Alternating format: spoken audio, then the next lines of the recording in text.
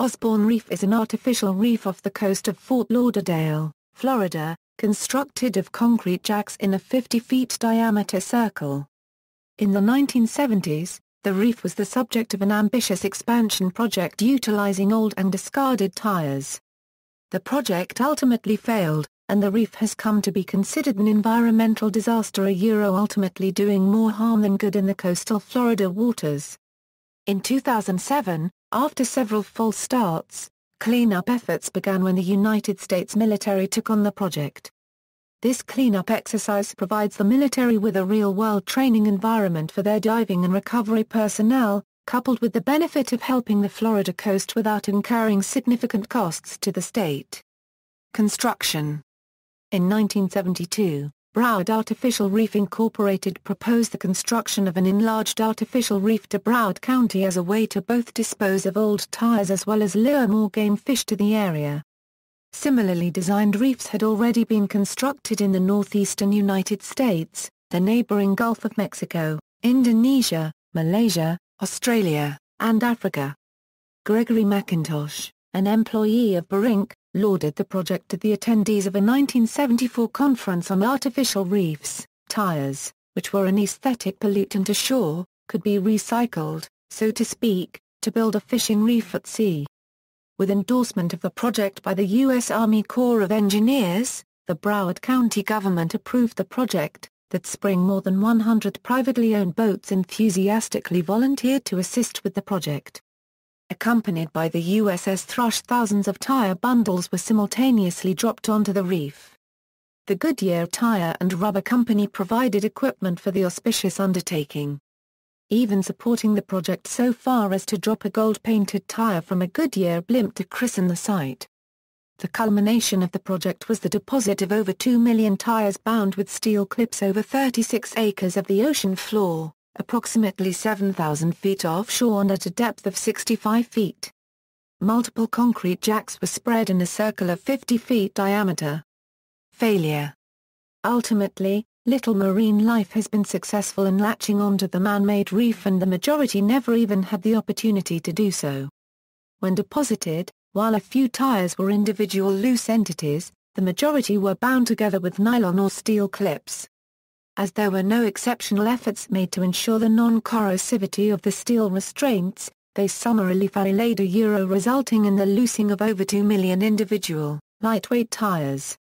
This newfound mobility destroyed any marine life that had thus far grown on the tires, and effectively prevented the growth of any new organisms. Furthermore, the tires were now easily subject to the tropical winds and storms that frequent the east coast of Florida and continue to collide with other natural coral reefs only 70 feet away, compounding their uselessness with environmentally damaging side effects.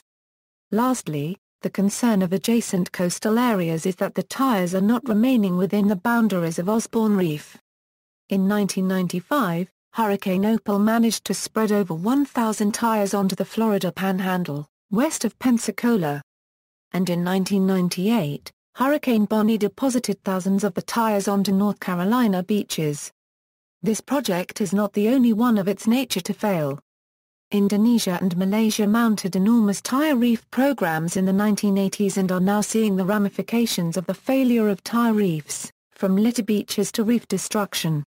Jack Sobel, the Ocean Conservancy's Director of Strategic Conservation said in a 2002 interview that I don't know of any cases where there's been a success with tire reefs. That year, the Ocean Conservancy's International Coastal Cleanup removed 11,956 tires from beaches all over the world. Cleanup, in 2001, Dr. Robin Sherman of Nova Southeastern University was awarded a 30,000 US dollars grant by the National Oceanic and Atmospheric Administration to begin a tire removal program.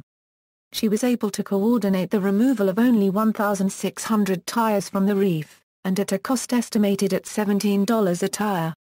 In 2002, Florida and Broward County environmental officials began the long and arduous process of setting into motion a plan to remove the tires. An original estimate of between $40 and $100 million led the Florida Department of Environmental Protection to plan to arrange a deal with those companies whose construction damages the seabed and reefs. where they would previously mitigate their destructive construction with replacement constructs for reefs, the state would require them to make their amends by removing tires from the Osborne Reef. This plan faced criticism by environmental groups who felt that this would only hasten the destruction of more marine habitats. Florida did not follow through on these plans. In May 2015, a two-year project to clear 90,000 tires from the site was commenced by the Florida Department of Environmental Protection. Equals U.S. military involvement equals.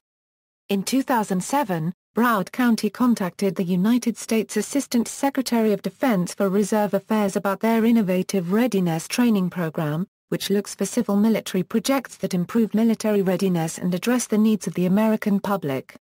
C.W. O'Donovan Motley said that the cleanup of Osborne Reef easily met those requirements. This project allows these military divers and Army LCU crew members real-world training in wartime salvage ops.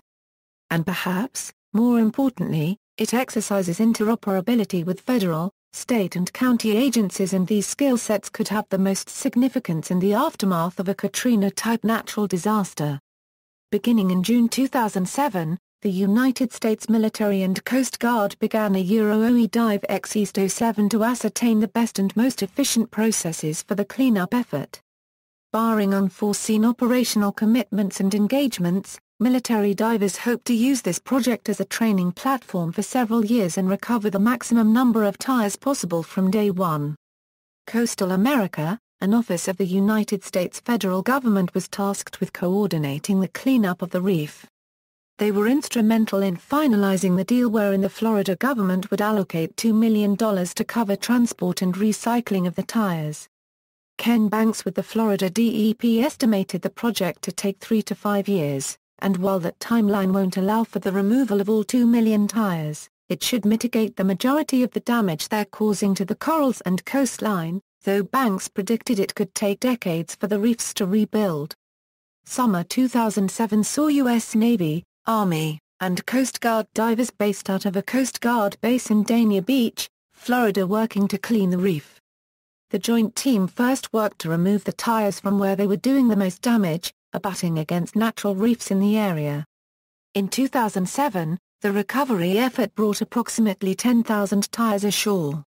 In 2008, recovery stopped after 26 days on May 24 after retrieving 43,900 tires. That year, Florida spent approximately $140,000 on the cleanup, some of which constituted transport for the tires to a shredding facility in neighboring Georgia where after they were burnt as fuel at a paper mill. Key members of the 2008 cleanup effort were U.S. Army Captain Russell Destamps and his 86th Engineer Dive Team. On August 10, 2009, they were presented with the 2008 Coastal America Partnership Award and a letter from President Obama for their participation in the reef cleanup effort. The award recognizes outstanding partnerships that make a significant contribution toward the restoration and protection of our nation's coastal and marine environment, and is the only environmental award of its kind given by the White House. Two days later in Hollywood, California, Coastal America and Principal Deputy Assistant Secretary of Defense for Reserve Affairs David L. McGinnis awarded the partner cleanup team from the Florida Department of Environmental Protection the same award. The 86th Engineer Dive Team deployed to the AOR in March 2009 for a one-year stint, and was unable to participate in that year's cleanup term. In 2009, recovery began on July 24 with 30 Army and Navy divers at Hugh Taylor Birch State Park, where it was thought about 300,000 tires were caught against a natural reef. Loading the caught tires onto the Army Craft Brandy Station, the first day's haul brought approximately 1,400 tires ashore. Wrapping up for the year in mid-August, Coastal America's William Knuckles told the Associated Press that cleanup efforts have thus far recovered approximately 73,000 tires from the reef. See also, Temple Reef. References